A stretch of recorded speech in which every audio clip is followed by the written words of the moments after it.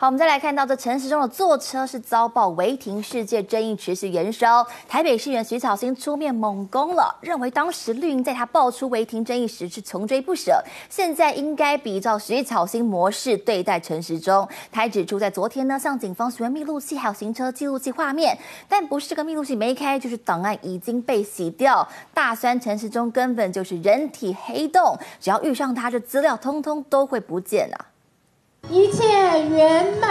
金铲插入土中，台北市长柯文哲出席金华广场开工动土仪式。其日金华城旧址，计划将华丽重建上半园区。柯文哲心情看起来很不错，不过一听到时事题，脚步匆匆，走得很快。问一下，怎么看这个陈时中他的车辆违停的事件？民进党台北市长参选人陈时中坐车遭民众爆料，台风天到内湖看灾，为了抢快，先是闯红灯，又违停公车停靠区将近八分钟。事件爆出后，第一时间内湖。和南港分局都发布新闻文稿和监视器画面，速度之快遭外界猜测是不是市府介入关切。虽然陈时中团队紧急道歉缴罚款，但还是止不住批评声浪。赖清德副总统在之前也才参加了交通安全月的记者会哦。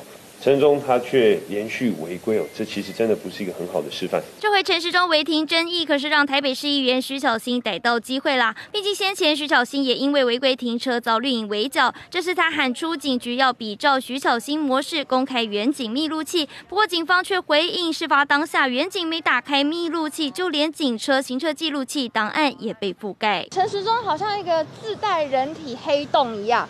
很多关键性的资料碰到它都会不见。密录器的执行要点，照理来说都是应该要开的，碰到陈时中呢又没有开了，这我就不清楚了哈。这是警察他在执行程序，并不是我们有没有密录器的问题。徐小新火力全开，至于远警上前拦查后没有当场开罚，就让陈时中坐车离开，是不是有特权疑虑？陈时中的团队里面禁用了这么多这样子的二代，是不是以后在司法、在检调或者是在警察机构就可以？呢，哈，这个因祸得福，然后什么都看不到，这是警察在执行的程序。那第二个，我们的罚单也已经缴了。年底选战已经进入关键时刻，参选人一举一动都被放大检视。陈中坐车争议再度引发论战。记者陈瑞祥、陈思琪台北采访了。而日前，陈时中和黄珊珊先后都拜访过新宇航空。那么今天呢，国民党台北上参选人蒋万安，他也前往新宇来拜会董事长张国伟，两个人是闭门交流了将近五十分钟。现场媒体就询问了张国伟说，台北市的撒卡都当中，他最欣赏谁？好，对此呢，张国伟张国伟说了，只要在乎观光业，他都很欢迎，还要媒体不要挖坑给他跳。